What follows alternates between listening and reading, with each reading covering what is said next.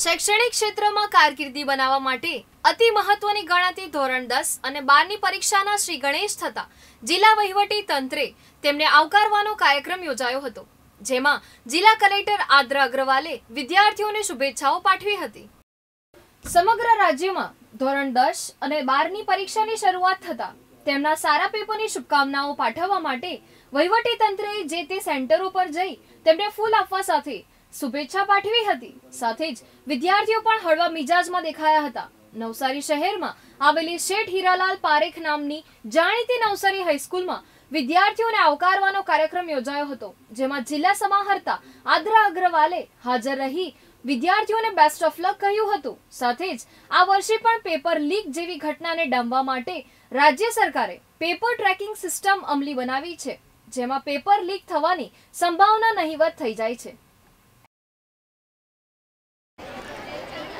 આજથી બોર્ડની દસમી અને બારમીની પરીક્ષાઓ શરૂ થઈ રહી છે અને એના માટે નવસારી જિલ્લા વહીવટી તંત્રની તૈયારીઓ પૂરી રીતે સંપૂર્ણ છે. લગભગ ચાલીસ હજાર જેટલા વિદ્યાર્થીઓ દસમી અને બારમી બંને મળીને આજે પરીક્ષા આપનાર છે. એના માટે જે વિવિધ તંત્રના ભાગો છે, જેમ કે એસટી બસીસ, એમને પણ સૂચનાઓ આપવામાં આવી છે કે બાળકોને કોઈ અગવડ નહીં પડે. એના માટે ડીજીવીસીએલને વીજ પુરવઠો ચાલુ રાખવા માટેની સૂચના આપવામાં આવી છે.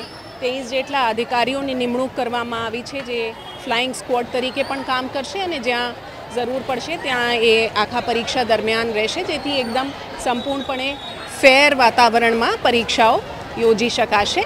અને વિદ્યાર્થીઓને શુભેચ્છા પાઠવા માટે હું અહીંયા આ એક અ, સેન્ટર ઉપર હાજર છું. અને અ, મને પૂરો વિશ્વાસ છે કે નવસારી જિલ્લાના બધા બાળકો ખૂબ જ સારી રીતે અને સારા રિઝલ્ટ મેળવીને આ પરીક્ષામાં ઉત્તીર્ણ થશે.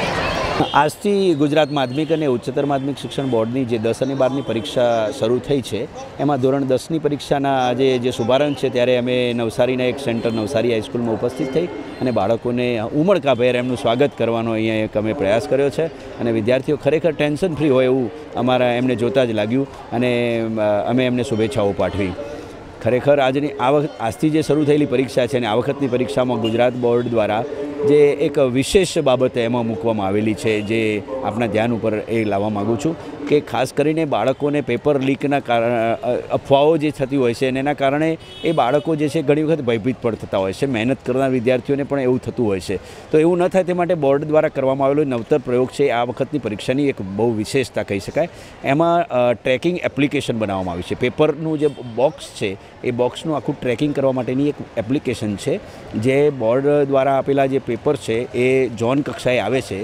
એ ઝોન કક્ષાએથી જે પેપરના બોક્સ સેન્ટર ઉપર પહોંચે ને વર્ગખંડ સુધી પહોંચે, ત્યાં સુધીનું આખું એને ફોટોગ્રાફ બિફોર એક્ઝામ અને આફ્ટર એક્ઝામ પાડી અને ટ્રેક એમાં અપલોડ કરવાના હોય છે અને સમગ્ર રાજ્યમાં આ રીતે કરવામાં આવેલું છે.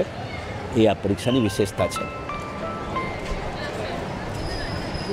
મારું નામ અક્ષાલી છે. હું આજે આ સ્કૂલમાં મારી એસએસસી બોર્ડની પરીક્ષા આપવા આવી છું. મને ખૂબ એમ આનંદ થાય છે અને ગુજરાતીનું પેપર છે. મેં ખૂબ મહેનત કરી છે. મારી એવી આશા છે કે આજે મારું પેપર સારું જશે મારું નામ રાજપૂત યોગેન્દ્ર છે.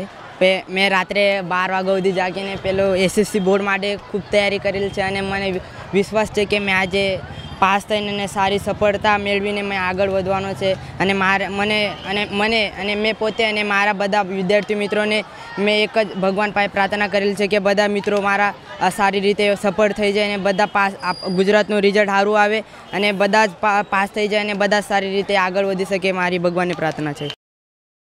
NDC news Navsari.